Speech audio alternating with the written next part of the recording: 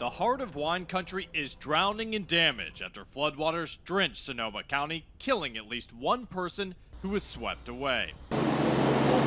More than 20 inches of rain pounded the area. Streets filled with murky, sewage infested water. Rescue crews on boats continue to search submerged neighborhoods looking for stranded residents. How many people have you guys evacuated?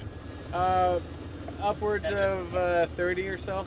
In Guerneville, residents had to be rescued after the town turned into an estuary. This morning, the landlocked community now accessible, but the devastation is widespread.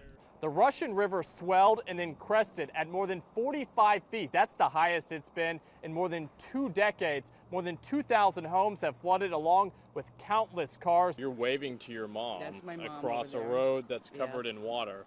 Yeah, This has to be a little surreal for you. it's a little surreal because usually I'm on the other end. Residents have been cut off from their loved ones and their properties for more than 24 hours. Now that the water is going down, This is sad. many are returning to see what's left.